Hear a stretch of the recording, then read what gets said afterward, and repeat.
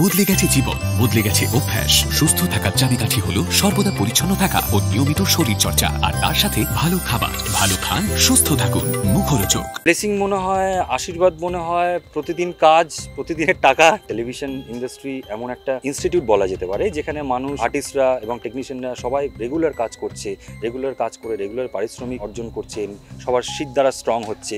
ছবি বছরে দুটো, তিনটে বড়জোর চারটে, দু বছরে হয়তো চারটে ছবি। সেইটা দিয়ে কি সেই স্বপ্ন পাওয়া যায়? আমার মনে হচ্ছে যে আমার স্বপ্ন কি এখানে শেষ হয়ে গেল? এরপরে তো আর কিছু আমার ফিউচার প্ল্যানিং সেরকমভাবে হয়তো করা নেই, নিজেকে কোন জায়গায় দেখতে চাই। সেইখান থেকে বেরোতে একটু টাইম লেগেছে। দেখলাম যে না, আমাদের লাইফটাই এমন যে আজকে যদি কোনো একটা সুপার হিট কাজ দিই, পরের দিন আবার নিজেকে প্রমাণ করতে হবে। স্টোরি আমি বাকি হ্যাঁ মেরে দোস্ত। পুজোর আগে যাকে দেখে মনে হচ্ছে কিন্তু পুজো চলে এসেছে, ধুতি, পাঞ্জাবি পরে একটা দারুণ লুকে দাঁড়িয়ে আছে ওমদা। পর্দায় ওম, এমনিতেও ওম। তো প্রথমত এই যে লুকটার কারণ কি শুনি? আমরা লাভ বি আজকালে রয়েছে আজকে। লাভবি আজকালে, আজকাল এরকম লুক যাচ্ছে আর কি আমাদের বাড়িতে। একটা সেলিব্রেশন চলছে মানে ঘোষ বাড়িতে একটা বিরাট সেলিব্রেশন চলছে। কিসের সেলিব্রেশন সেটা জানতে হলে আমাদের এপিসোড দেখতে হবে। বাট সেটারই সাজ এটা। তো তার সঙ্গে পুজো আসছে, সবটাই একদম পুরো মিলে গেছে। আগে একটা এরকম সাজ ভালোও লাগছে হ্যাঁ, বলো। হ্যাঁ, হ্যাঁ। তো একটা কথা বলো এই যে লাভ বি আজকাল অনেক দিন পর তুমি ধারাবাহিকে তো সেখানে একটা স্লট লিড করছে এটাও একটা ভালো লাগার। একদম মানে খুবই ভালো লাগার একটা বিষয় এবং খুবই কি বলব ব্লেসড বলা যেতে পারে।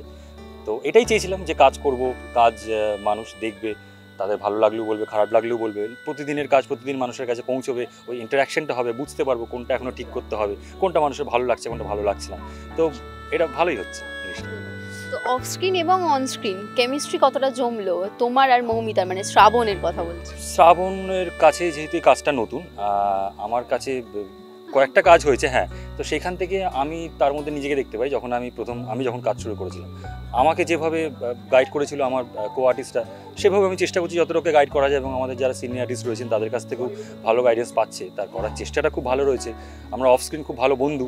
তাই অন স্ক্রিন হয়তো কেমিস্ট্রিটা ভালো লাগছে অডিয়েন্সেরও ভালো লাগছে সো এই ভালো লাগাটাই যেন বজায় থাকুক আর যে মানে চুক্তির বিয়ে যেটা দিয়ে তোমাদের ধারাবাহিকের শুরু হয় তো এই যে কন্ট্রাক্ট ম্যারেজ এটা তো অনেকেই পরিচিত নয় এই কথাটার মধ্যে আসলে ধারাবাহিকের নতুন একটা কনসেপ্ট তো এই যে কন্ট্রাক্ট ম্যারেজ করে শ্রাবণ বাড়িতে এলো তো সেখানে ওমের কি রিয়াকশন এখন আসছে? যে ওমের কি একটু সফট কর্নার এলো? ওই মাঝে মাঝে আসছে মাঝে মাঝে যাচ্ছে আসা যাওয়ার মাঝেই খেলা চলছে এখন। তো সবে শুরু তো তো এখন যেভাবে গল্প এগোচ্ছে সেভাবে কিছু কিছু জায়গায় বোঝে মনে হচ্ছে যে হয়তো ওমকার ঘোষ ওমকার ঘোষ শ্রাবণের প্রেমে হয়তো পড়ছে পড়ছে। কিন্তু সেটা নয় স্টোরি আমি বাকি হ্যাঁ মেরে দোস্ত।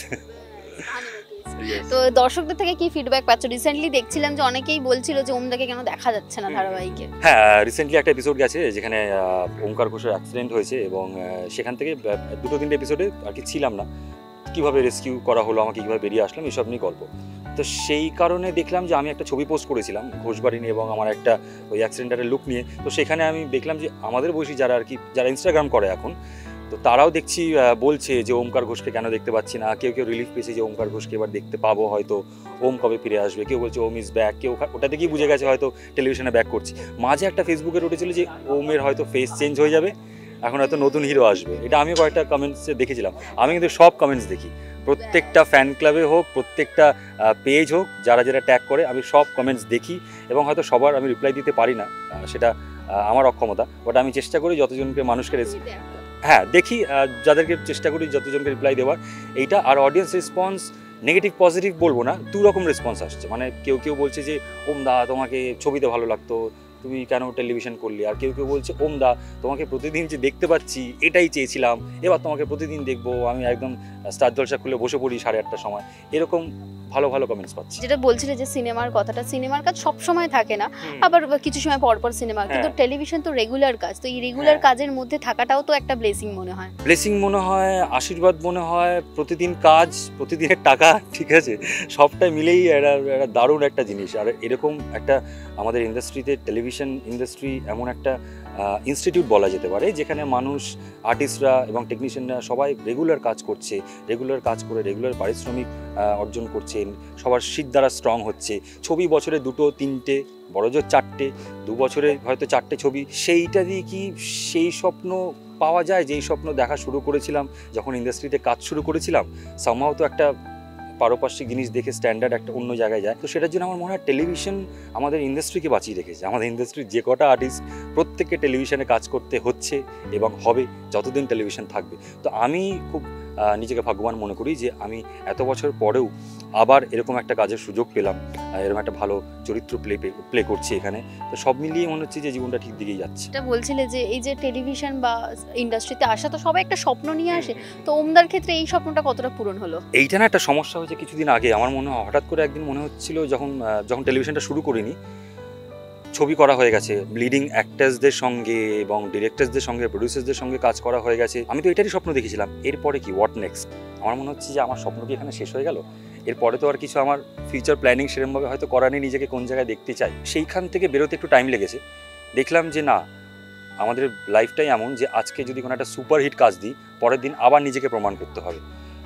সব থেকে বড় এক্সাম্পল আমরা এখনও দেখতে পাচ্ছি, এই যে শাহরুখ খান, ইনাকে নিয়ে যে এত মাতামাতি হচ্ছে মানে কবে থেকে ইনি নিজের জার্নি শুরু করেছিলেন, প্রতিনিয়ত নিজেকে প্রমাণ করে আসছেন, শেষ ছবিতেও নিজেকে একদম চেহারা বলো লুক বলো প্রেজেন্টেশন বলো, সবার পেছনে একদম পুরো নিজের ফুল হান্ড্রেড পার্সেন্ট দিয়েছেন। তো আমরা তো চুনোপুটি মানে আমাদেরকে তো প্রতিদিন নিজেদেরকে প্রমাণ করতে হবে।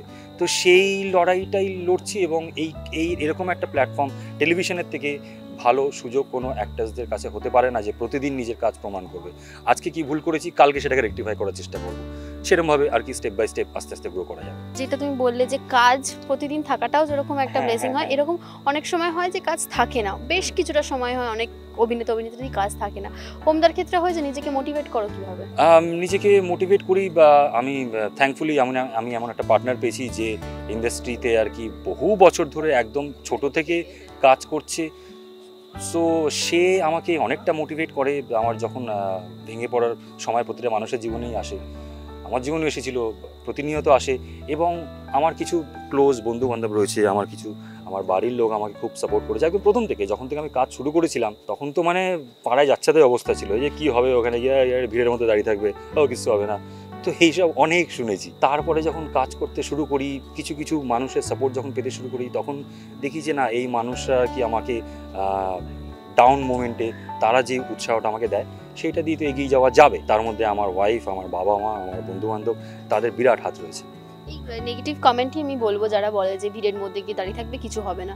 তখন নিজেকে কি বুঝিয়েছিলে? মানে এই জায়গাটাতে আসার জন্য তো একটা স্ট্রাগল আছে। বিরাট স্ট্রাগল আছে। তখন নিজেকে এটাই বুঝিয়েছিলাম যে আমি তো মানে অনেকেই অনেক কথা বলছে আমি যে স্বপ্নটা দেখেছি এখনই তো আমি জীবনটা শেষ হয়ে যাচ্ছে না। তো জীবনটা যখন রয়েছে সে কারণটাও দেখতে হবে কতদিন। যতদিন আর কি সময় আছে, শুধু অতটুকুই ভেবেছিলাম। আর বাবা মা বলেছিল, তুই কর না তো যেটা ইচ্ছে হচ্ছে। তো সেইটা ভেবে এগিয়েছি কাজ পেয়েছি পরিচিত বেড়েছে, সেখান থেকে আরেকটা কাজ পেয়েছি, কাজ করতে করতে করতে করতে, আজকে আমি এখানে। তো আমি করতে পারলে তো সবাই করতে পারবে, জিনিসটা এরকমই মানে টানার টেনে ফেলার মানুষ অনেক থাকবে, টেনে তোলার মানুষ কিছু থাকবে, সেটা বেছে নিতে হবে। সেটা বেছে নিতে পারলেই জীবন স্মুথ হয়ে যাবে। এই যে বিয়ে বিয়ে নিয়ে আমরা কথা বলছিলাম লাভ বিয়ে আজকাল তো এই মিমিদির সাথে দাম্পত্য জীবন কেমন চলছে? কতটা জীবনে কি পরিবর্তন এসছে কিছু? না সেরমভাবে না আমরা বিয়ের আগেও যেরমভাবে মিশতাম এখনও সেরমভাবেই আমরা আর কি জীব- জীবনযাপন করছি হ্যাঁ। সময় ঠিক আমরা চেষ্টা করি যতটা বার করে নেওয়া যায় কাজটাও তো করতে হবে। তো সেইখান থেকে তো খুবই ফ্যান্টাস্টিক আমাদের এখন সিচুয়েশন এবং আমরা ভালো ফিউচারিস্টিক প্ল্যানে রয়েছি কীভাবে নিজেদেরকে ফিউচারে গ্রো করা যায় এই কাজের দ্বারা। দুজনেই একে অপরকে আর কি সেই সেই আলোচনার মধ্যে রাখি। তো সেইটা আমার খুব ভালো আর কি গিফটেড বলা যেতে পারে। সামনে পুজো আসছে তো এই বছর পুজোর কি প্ল্যান যেহেতু ধারাবাহিকের ছুটি হ্যাঁ। পাওয়াটা একটা হ্যাঁ এর আগে অবধি তো সেরকম কিছু ছিল না মানে পুজো ঠিক আছে এখানে হলো কি সেখানে হলো কি শো মাজা ফাজা করে কেটে যেত কিন্তু এবার এত টানা কাজ হচ্ছে তো পুজোতে আমার আর কিচ্ছু করার ইচ্ছে নেই। পুজোতে আমি শুধু জাস্ট রিল্যাক্স করব কলকাতায় থাকলে কলকাতায় বাট প্ল্যান আছে একটু আউট অফ স্টেশন যাব out not out of country but out of station কোথাও একটা থাকব কাছাকাছি যাতে পুজোর আমেজটাও পাই কিন্তু ভিড়টাও একটু অ্যাভয়েড করি একটু রিল্যাক্সেশন হয়। তো সেরকম একটা প্ল্যানিং রয়েছে। দেখা যাক যিশুদা যদি যে ছুটি দেয় তাহলে সেখান থেকে আমরা একটা প্ল্যানিং করতে পারব বাট না পুজোতে একটা একটা হালকা প্ল্যানিং হয়ে রয়েছে। শপিং হয়েছে? হ্যাঁ একদিন সুযোগ পেয়েছি সেদিন ভালো করে জমিয়ে একেবারে লাঞ্চ ডেট শপিং ডেট সব করে ফেলেছি। আবার কবে ছুটি পাবো ঠিক নেই। করব, শেষে তোমাদের নতুন এপিসোড আসছে লুক দেখে বুঝতেই পারছেন। এছাড়া আর গল্পে কি মোড় আসছে সেটা যদি দর্শকদের বল। আমাদের গল্পে প্রতিনিয়তই আর কি নতুন নতুন মোড় আসছে, চমক আসছে। তো চোখ রাখো স্টার জলসার পর্দা দেখতে থাকো লাভ বি আজকাল সন্ধ্যে সাড়ে আটটা থেকে। আশা করছি তোমাদের খুব ভালো লাগবে, কারণ যারা এখন দেখছি তাদের কাছ থেকে খুব পজিটিভ রেসপন্স রেসপন্সই পাচ্ছি। So please stay with us thank you